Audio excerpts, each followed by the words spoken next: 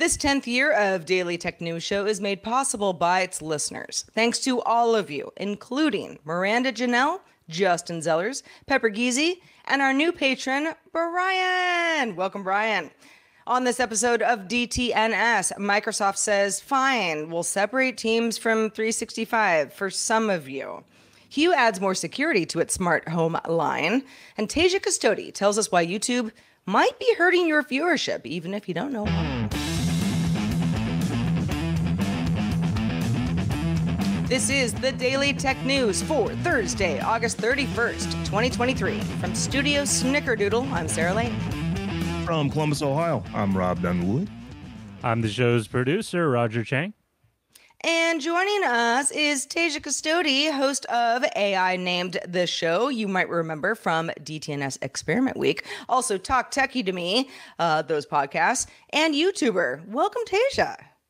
Hello. Thank you so much for having me. And I'm well, joining you all from hot, hot, hot Scottsdale, Arizona. Ooh, it is hot. Yeah, you were telling us before the show something like 114 Fahrenheit. That's hot. all others bow down to that hotness. all right, let's get right into the show, starting with the quick hits. After last week's highly anticipated launch of the more functional web version of Threads, Meta is testing another highly demanded feature, and that is search. Fully searched post text is currently available in Australia and New Zealand, with a wider rollout to other English speaking countries currently planned. The company also says it's working on supporting additional languages. In a statement, a spokesperson said, quote, we are actively listening to the community's feedback and working on more features to improve the search experience. Motorola has officially unveiled two new Moto G phones launching in September. The Moto G84 5G launches September 1st, and the Moto G54 5G launches September 6th. Both September launches are slated for India. However, the Moto G54 5G was recently spotted in a U.S. Federal Communications Commission listing and will hopefully see a U.S., if not worldwide, launch in the near future. Google's AI powered Search Generative Experience, or SGE, which began open testing in the US back in May, has now expanded the feature to India and Japan. In India, it will be available in both English and Hindi, which is a widely spoken language in the region, and Japanese in Japan, with voice input also enabled. Unlike Microsoft's Bing's AI chatbot assistant, SGE runs directly from the search bar rather than as a separate section. The Federal Trade Communications essentially told ISPs too bad, so sad when it rejected requests to eliminate an upcoming requirement for internet service providers to list all of their monthly fees. Five trade groups representing US based broadband providers petitioned the FCC in January to scrap the requirement before it goes into effect. The FCC, however, stated that the rules would be implemented without significant changes. Every consumer needs transparent information when making decisions about what internet service offerings to make um, or, or, which makes most sense for families and households. No one wants to be hit with charges they didn't ask for or they did not expect. I love that. ISP is saying, do we have to tell them though? FCC said, yeah, you have to tell them. According to a Bloomberg report, Apple is testing 3D printers to make the stainless steel chassis for upcoming Apple Watch 9. Apple Watch chassis are currently made by cutting slabs of metal into the right shape. The 3D printing methodology would, if it's true, reduce time needed to make the devices and also the material being used. Apple may also apply the 3D printing process to the next iteration of the titan- t- titanium enclosed Apple Watch Ultra, that's the big one, sometime next year. And those are the quick hits. All right, Rob, let's talk about Microsoft. What's going on? Well, let's talk about some antitrust stuff. So on October 1st, Microsoft will be separating teams from Microsoft 365 and Office 365 suites in the European Economic Area and also Switzerland. This follows a formal EU antitrust investigation opened last month over Microsoft bundling Teams into its enterprise offering. Teams rival Slack filed a complaint about three years ago over the same issue. At the time, Slack alleged that Microsoft had illegally tied its Microsoft Teams product to Office and is force installing it for millions, blocking its removal and hiding the true cost of to enterprise customers. All right. So, as a customer, you can buy the new package. You know, if you're in these regions, you can buy the new package without Teams and save three euros per month. Existing customers have the option to remain with their current plan, kind of grandfathered in type thing. For new customers, if you want Teams, that's available for five euros per month. Now, the EU investigation is still ongoing. And Rob, I know you've got some thoughts on what Microsoft is doing is it doing what it needs to do here? Is it in the clear? Um, I don't know that it's in the clear. They're probably going to get, you know, hit with a sanction. But the thing is, Microsoft, and they know this, they've got years, actually, they've got decades of knowledge that tells them when we bundle stuff, people use the stuff that we bundle. So this is one of those calculated decisions. We're going to bundle this, probably knowing that eventually we're going to get whacked. But by that point, we are we're on everybody's system. People are using us. So let's just pay the fine having reaped all the benefits of the bundling for the years that we did it up until this point. Mm. Well, I mean, you mentioned that, yeah, when bundled software is provided, it's often the most convenient option and people use it. But yeah, if you have a dominant market share, uh, which Microsoft obviously has been battling uh, with a, a, a variety of Office suites for some time, you're going to get scrutiny like this. Uh, I remember when Slack first said, "Hey, you know, what's going on with Microsoft Teams here? This isn't fair." I mean, Slack was not owned by Salesforce at the time that it complained about this, and that's perhaps why we haven't heard a lot more um, crowing about from from Slack. I am a Slack user. Uh, I don't really um, connect it to too many third party apps, although you do have a lot of options that way. So it isn't so much that Microsoft is offering its version of something that you couldn't get elsewhere. Tasia, where do you fall on this? Are you Teams user or Slack user or either? I used to use both for companies that I worked with. So it was kind of internal to their programs. I love Slack, was a big Slack user. It's it's easy to see both sides because you want to see it from the competitive standpoint, which as we know is what the very smart Slack lawyers said was, hey, this is against EU regulations. But you can also see it from Microsoft's side being like, well, if we're the biggest and we're the best and we want to just bundle it in, like let's just give it give it to everyone. I think where it lies for me is like people want an option to either opt in or opt out.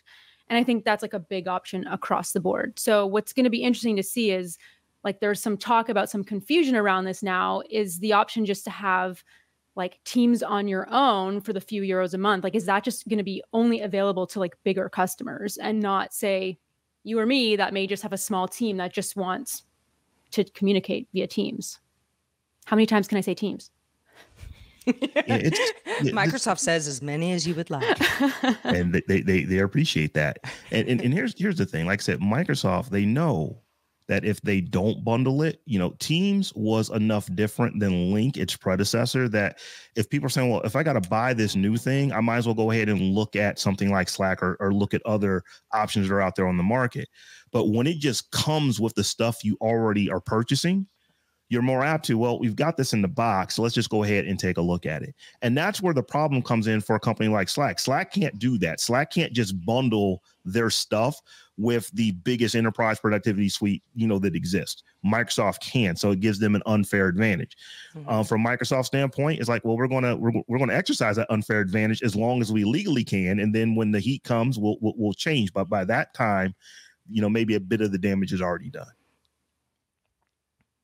Indeed, indeed. Well, all right. So Microsoft is making some concessions um, in the European market uh, where it has been forced to do so. Um, this isn't necessarily over. Um, this is Microsoft saying, "We good? Here, we're giving people other options." Um, and and yeah, you know, like like you mentioned, uh, Tasia, there it, it, it's hard to argue with something where you're like, "Well, I'm already here in this office suite. This is a great." Option for me. I think the problem is is that um, when we come into antitrust issues like this, uh, people say, "Well, there are other options, though." And if you don't know that there are other options, then that's where you know the unfair market advantage comes in. All right, Rob, let's talk about uh, smart homes, shall we? Absolutely. So Signify announced a new security camera that can connect the Philips Hue Philips Hue's line of smart lights. The Philips Hue secure cameras and sensors for home security support 1080p video monitoring plus night vision and motion trigger notifications. They connect using Hue Bridge like other Hue devices. Two-way talk is supported so the cameras can be paired with Hue lights and sound alarms for privacy folks and then encryption is also included to keep video clips and snapshots private and recognition on device to let camera recognize people, pets, and packages. A security center will also be part of the Philips Hue app to control various devices. It includes a take action screen. That's where you can activate an alarm that flashes the lights, for example, or sounds a siren, or contacts local authorities if you're really in a jam, among other options. Some features require paid plans. Uh, those start at about $4 per month. Anybody with a Hue account can connect up to 10 cameras linked to a bridge.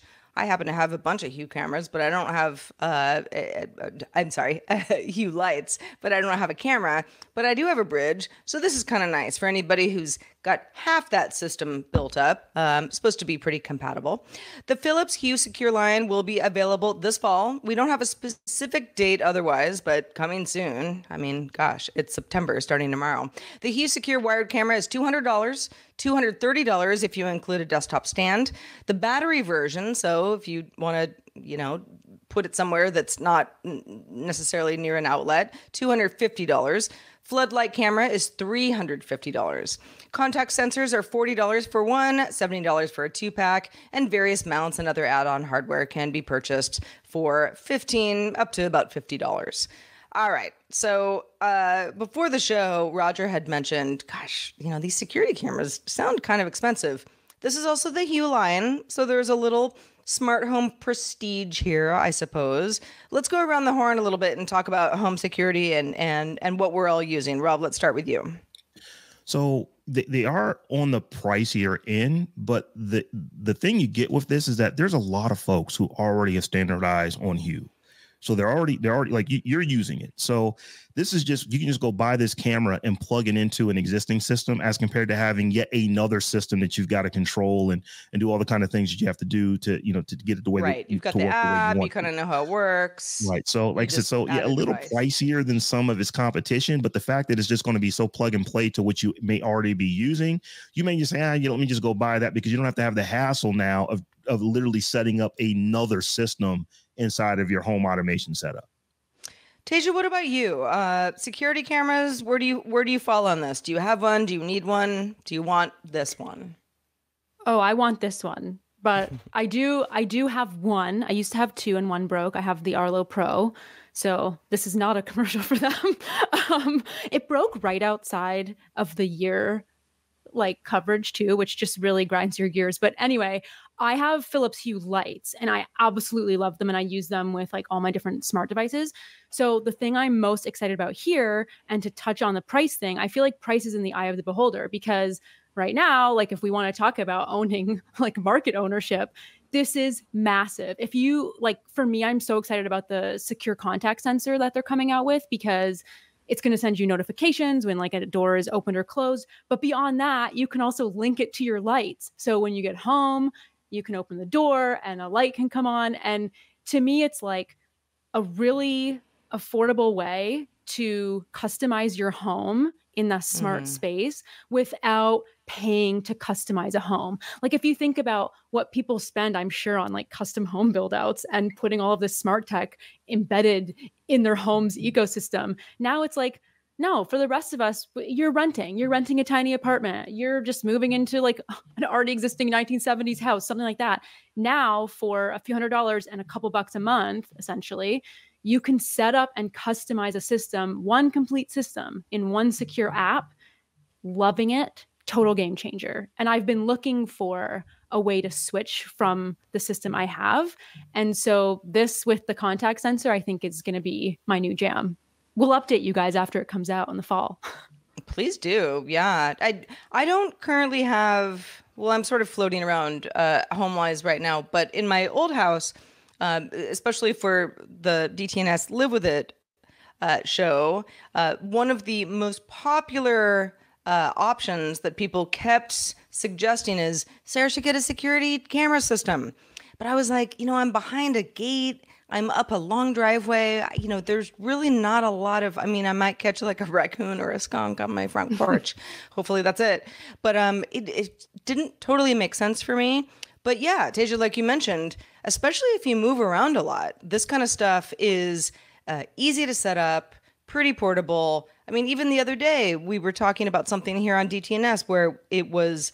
Um, you know, a uh, thermostat that could know when you opened your window, and then the thermostat would adjust accordingly. And I was like, a smart window? And Tom said, no, sir, it's like a sensor. You know, like there are little things for all sorts of parts of your house. You know, I mean, you're even... technically you're technically not wrong. The sensor Right. makes the window smart. right, right, exactly. Yeah. So yeah, the more of this, uh, the better. I yeah, I, I'm with you. I'm I'm in the Hue um, ecosystem. Uh, although I have some LIFX uh, uh, uh, lights as well. But uh, yeah, I mean, this is all this is all moving in the right direction. Speaking of moving in the right direction, this is almost the you know the lead that was buried. Uh, as previously promised, Philips Hue Bridge is finally being updated to support the new smart home standard Matter. A software update will roll out in September, and that's let that lets you as a user connect your Hue system with other Matter devices and apps. Makes it all that much smarter. This applies to even the oldest Hue bulbs that launched way back in 2012. All right. If you missed Tom's How to Make a Great Podcast class, it was a hit. And people said, What? I missed it. And I'm mad about that. I would like to be part of the next one. If you missed it, good news. You can still get the online course in our DTNS Patreon store. Tom explains the basics of podcast producing, a little bit more than the basics, because, you know, Tom's a bit of a veteran, and shares his experiences on what makes a really great podcast actually great a lot of learn a lot of learning you can do there you can download the class or stream it over at patreon.com slash dtns slash shop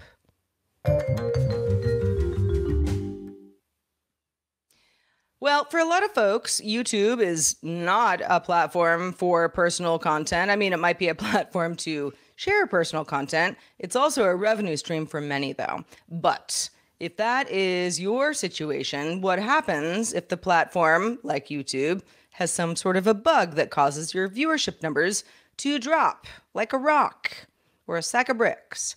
Tasia, you've been dealing with this problem on your own channel for some time. So let's talk about what the problem is and what you've done. Yeah, I noticed on August 5th, you know, everything was hunky dory. And come August 5th, my revenue just completely fell off of a cliff. You just see this nose dive down. You know, you never want to see an arrow down and to the No, right. certainly not, but especially not one that's where you go, um, hello, am I online still? Correct. So uh, for the first week, I honestly thought, you know, sometimes stuff happens on the back end with YouTube Analytics and it corrects itself after a few days and not a big deal.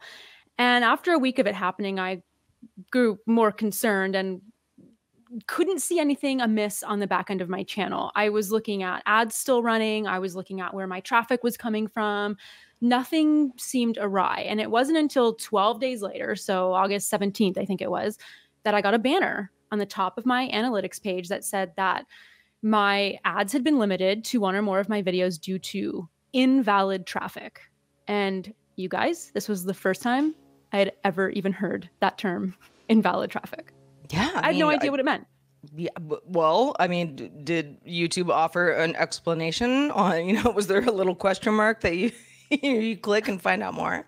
There was. I think it's like a little eye. And so, of course, I went down that rabbit hole. And YouTube basically describes invalid traffic as any activity at all on your channel that does not come from a real user or a user with genuine interest. So, obviously, off the bat, you think of things like if you're like bot farms, like you're incentivizing or or buying Sure. having people buy views exactly and clicks on your content.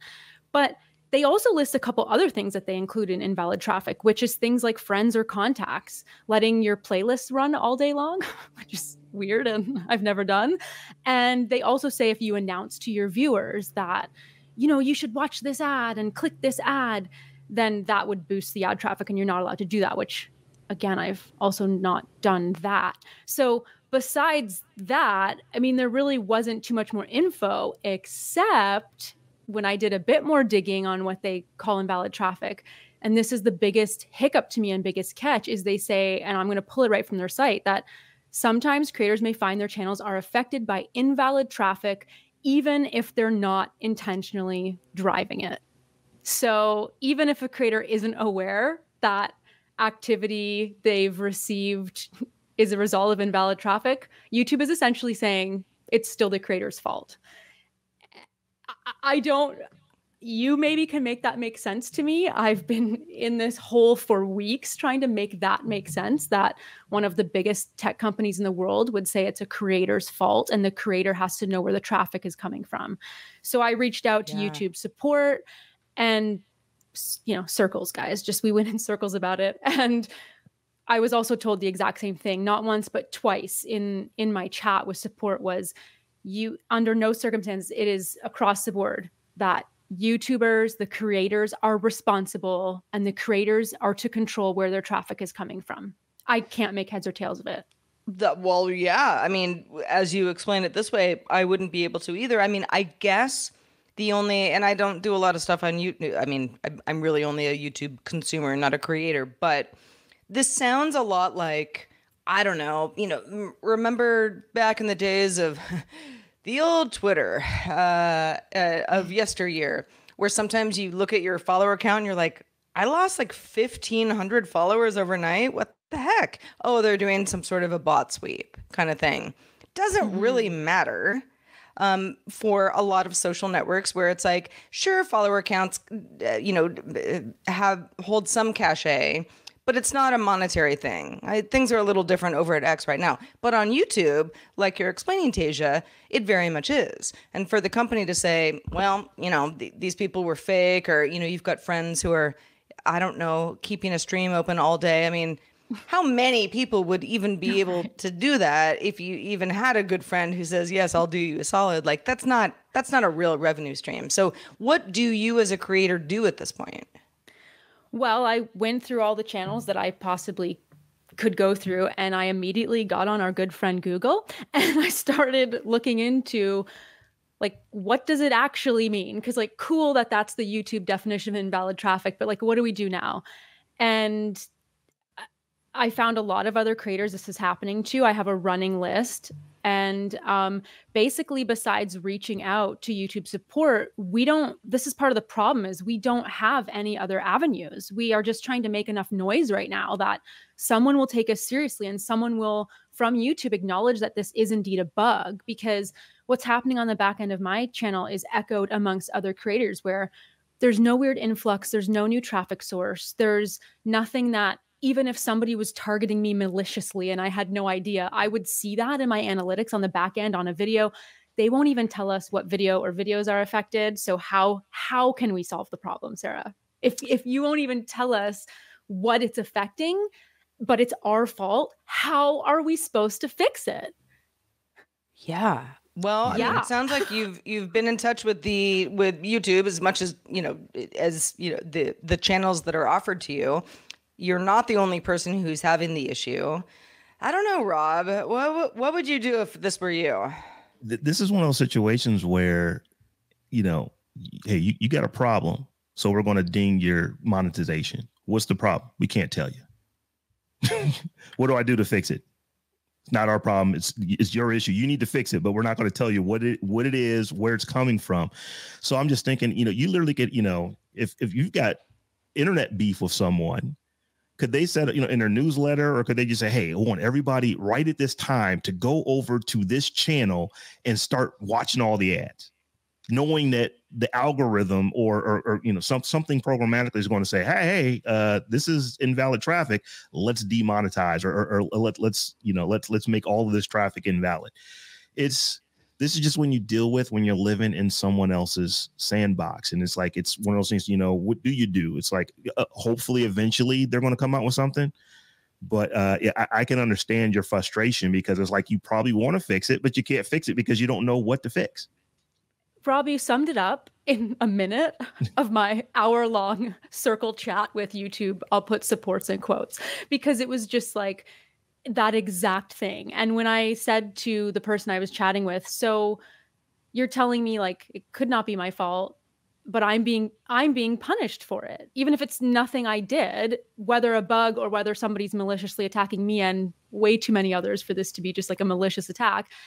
And the response i got was i'm sorry you feel that way which yeah by the way lesson for everybody that's not an apology you don't apologize for somebody's no, feelings it's almost you worse. made them feel that it's way almost worse it's than nothing worse. at all Right. you want to see me enraged? Sorry, you felt offended. I know, I know. I was like, girl, please. if you want to see me offended now, like you've you've pushed the button. But yeah, so it's just it's left us with our hands tied. And to me, there's just too many of us that this is happening to that it's it's it's something where if this would not have happened to me on August 5th, I wouldn't have known it's an issue. And that's also not okay to me at this point. So it's still ongoing for me. We're at the end of August. I still have lost my personal effects have been uh, cut. My personal ad revenue has been cut more than 76% off of a cliff. Wow. And it's it's significant. And okay. so yeah, for me, like that's one of my revenue streams. Thank God. And by the way, still extremely significant. Like YouTube went with the ad revenue alone from like my third top earning tier for me in a month down to almost nothing now. Like I might be able to buy a coffee at the at the day with wow. what I'm getting now. And so there's a lot of YouTubers that this is their full-time gig. This has completely decimated them and if this doesn't happen to you, you wouldn't know this could even be a thing. And so when I started doing all the research on this, I realized like this is a known issue since November of 2022. YouTube does not want to admit it because I feel like it this is my allegedly my opinion YouTube. Don't come for me please. Not any more than you already have.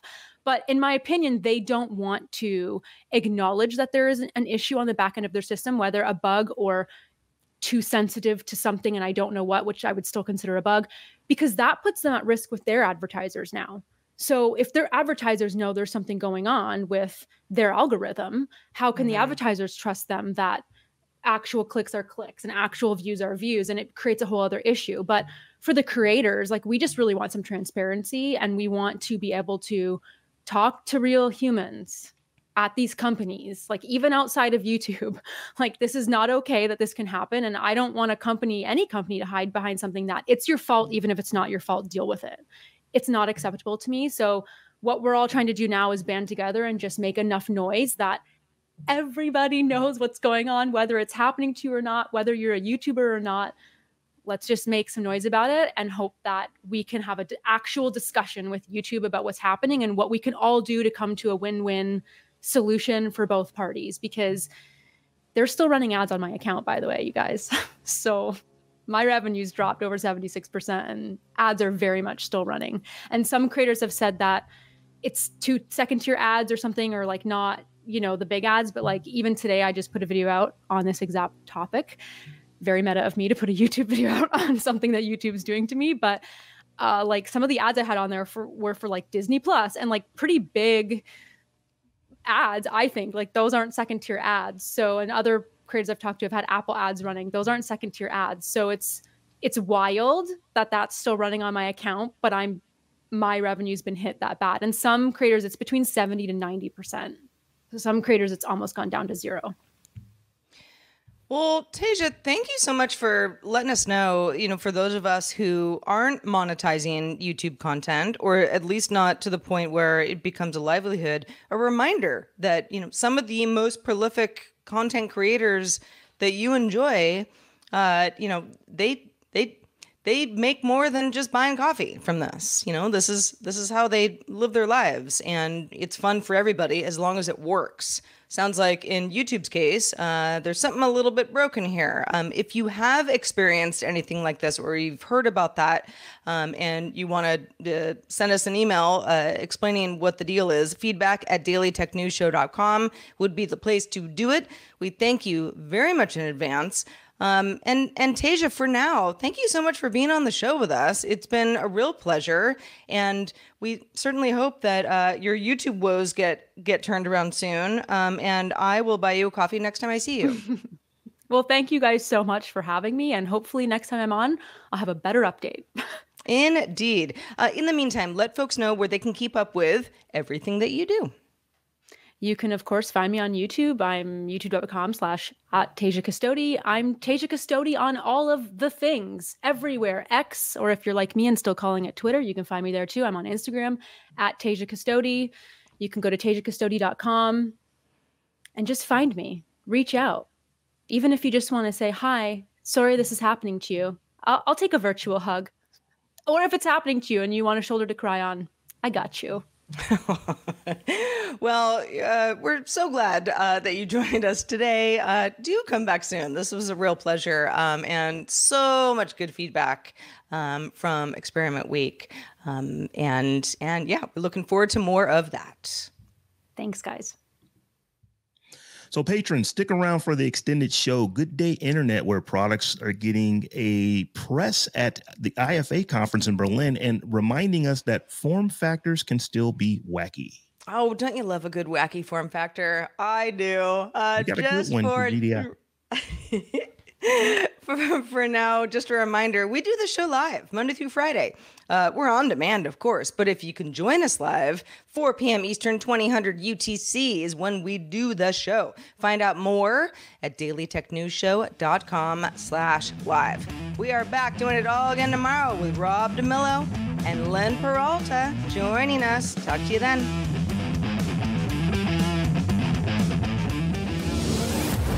This show is part of the Frog Pants Network. Get more at frogpants.com. Diamond Club hopes you have enjoyed this program.